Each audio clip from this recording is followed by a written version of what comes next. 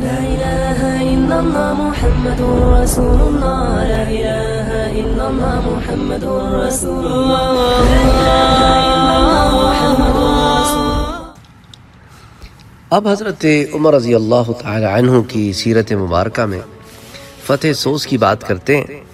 Sauce کی فتح کے بارے میں اہل سیرت کا اختلاف ہے۔ اس زبن میں مدائنی کہتے ہیں کہ جب جلولہ کی شکست خوردہ فوج یزگرد کے پاس پہنچی تو اس نے اپنے خاص لوگوں کو اور موبس کو بلایا اور کہا، یہ فوج جس فوج سے مقابلہ کرتی ہے اسے شکست دیتی ہے، تمہاری کیا رائے ہے? تو موبس بولا کہ، ہماری رائے یہ ہے کہ آپ یہاں سے نکل کر استخر میں قیام کریں، کیونکہ وہ سلطنت کا مرکزی مقام ہے اور وہاں اپنے خزانے بھی لے جائیں اور وہاں سے فوج کو روانہ کریں. بادشاہ نے اس کی رائے پر عمل کیا اور اس فہان چلا گیا اور اس نے سیاہ کو بلا کر اس کے ساتھ تین سو افراد بھیجے۔ جن میں ستر عظیم افراد تھے۔ بادشاہ نے اس کو حکم دیا تھا کہ وہ ہر شہر سے جہاں سے اس کا گزر ہو، جس کو چاہے منتخب کرے۔ سیاہ روانہ ہوا اور اس کے پیچھے یس گرد بھی روانہ ہوا۔ یہاں تک کہ وہ استخر پہنچے۔ اس وقت حضرت ابو موسیٰ اشاری سوس کا محاصرہ کر رہے تھے۔ اس وقت سیاہ کو سوس بھیجا گیا اور ہر مزان کو تستر کی طرف روانہ کیا گیا۔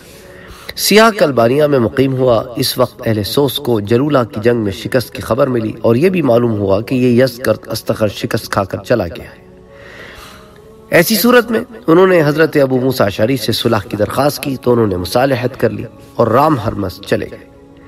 سیاہ کلبانیہ میں مقیم رہے۔ اس، اسے مسلمانوں سے مقابلہ کرنے کا معاملہ بہت دشوار معلوم ہوا۔ جب حضرت ابو موسیٰ تستر روانہ ہو گئے تو سیاہ وہاں سے منتقل ہوا اور رام ہرمس اور تستر کے درمیان مقیم ہوا کہ حضرت عمار ابن یاسر آئے۔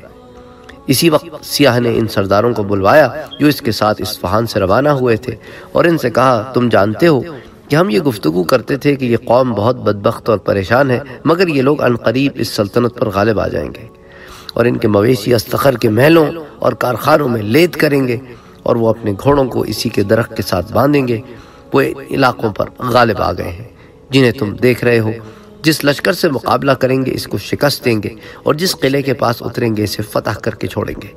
تم اپنے آپ اس معاملے پر غور کرو۔ وہ بولے، ہماری رائے وہی ہے جو تمہاری ہے۔ وہ بولا، تم میں سے ہر ایک کو ما متعلقین میرا ساتھ دینا چاہیے۔ میری رائے یہ ہے کہ ان کا مذہب قبول کر لے۔ آخرکار انہوں نے شیرویہ کو دس افراد کے ساتھ حضرت ابو موسیٰ کے پاس بھیجا تاکہ وہ ان سے چند شرطوں کے ساتھ پھر اسلام قبول کرنے کا معاملہ طے کریں شروعیہ حضرت ابو موسیٰ کے پاس آیا اور ان سے کہنے لگا، ہم آپ کا مذہب قبول کرنے پر آمادہ ہیں اور اس شرط پر مسلمان ہوتے ہیں کہ ہم آپ کے ساتھ مل کر اہل عجم سے جنگ کریں گے، مگر آپ کے ساتھ مل کر اہل عرب سے جنگ نہیں کریں گے۔ اور اگر اہل عرب میں سے کوئی ہمارے ساتھ جنگ کرے، تو آپ اس کے خلاف ہماری مدد کریں گے۔ ہم جہاں چاہیں گے، رہیں گے، آپ ہمیں بہترین عطیات دیں گے اور یہ معاہدہ وہ حاکم انجام دے گا جو آپ سے بڑا ہے۔ حضرت ابو موسیٰ شہری نے فرمایا، تمہیں وہ حقوق حاصل ہوں گے جو ہمیں حاصل ہیں اور تمہاری بھی وہی فرائض ہوں گے جو ہمارے فرائض ہیں۔ انہوں نے کہا، ہم اس پر رضامند نہیں ہیں۔ حضرت ابو موسیٰ نے حضرت عمر کو ان کے بارے میں تحریر کیا تو انہوں نے حضرت ابو موسیٰ شری کو لکھا، وہ جو مطالبہ کرتے ہیں اسے منظور کر لو۔ اس پر حضرت ابو موسیٰ شری نے معاہدہ تحریر کیا اور وہ مسلمان ہو گئے، وہ ان کے ساتھ محاصرے میں شریک ہوئے۔ مگر حضرت ابو موسیٰ شری نے ان میں سرگرمی اور جوش و خروش نہیں دیکھا۔ اس پر انہوں نے سیاہ سے کہا، تم اور تم اور تمہارے ساتھی ویسے ثابت نہیں ہوئے جیسا کہ ہم توقع رکھتے تھے۔ وہ بولے، ہم اس مذہب میں تمہاری طرح نہیں ہیں اور نہ ہماری عقل و بصیرت تمہاری طرح ہے اور نہ ہمارے پاس کوئی حرم ہے جس کی ہم حفاظت کریں۔ اور تم نے ہمیں بہترین عطیات نہیں دیے ہیں۔ ہمارے پاس ہتھیار، ساز و سامان ہے اور تم نہتے ہو۔ حضرت ابو موسیٰ نے حضرت عمر کو اس بارے میں لکھا تو انہوں نے جواب میں لکھا کہ تم ان کے بہادرانہ کارناموں کے مطابق ان کے لیے بہترین وظائف مقرر کرو اور انہیں زیادہ سے زیادہ حصہ جو کسی اہل عرب کو دیا جاتا ہے عطا کرو۔ ان کے سو افراد کو دو دو ہزار کے وظائف دو اور ان کے مندرجہ چھ افراد میں سے ہر ایک کو ڈھائی ڈھائی ہزار کا عطیہ دو۔ وہ اشخاص ان کے نام یہ تھے، سیاہ، خسرو، جس کا لقب مقلاس ہے۔ اسی طرح شہریار، اسی طرح شہرویہ، پھر شہرویہ اور افروزین۔ انہوں نے فارس کے ایک قلعے کا محاصرہ کیا۔ رات کے آخری حصے میں سیاہ چپکے سے قلعے کے دروازے کے قریب اہل عجم کے لباس میں پہنچ گیا۔ وہ اپنے کپڑوں پر خون چھڑک کر لیٹ گیا۔ صبح کے وقت اہل قلعہ نے ان کے اس کے پاس اپنے لباس میں ایک آدمی کو پڑا ہوا دیکھا تو انہوں نے خیال کیا کہ کوئی انہی کا زخمی آدمی جو ہے وہ قلعے کا دروازہ انہوں نے کھول دیا تاکہ وہ داخل ہو جائے۔ اس پر وہ اٹھ کھڑا ہوا اور اس سے جنگ کرنے کا اور اعلان کرتے ہوئے جنگ کرنے لگا۔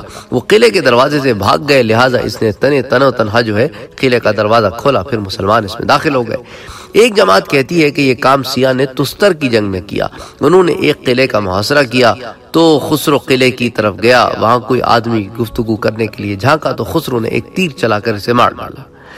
سیف کی روایت یہ ہے کہ جب حضرت ابو صبرہ مسلمانوں کو لے کر سوس کے قریب پہنچے اور مسلمانوں نے اس کا محاصرہ کیا، تو اس وقت ہرمزان کا بھائی شہریار اہل سوس کی قیادت کر رہا تھا۔ انہوں نے کئی مرتبہ جنگ کی اور ہر موقع پر اہل سوس نے مسلمانوں کو نقصان پہنچایا۔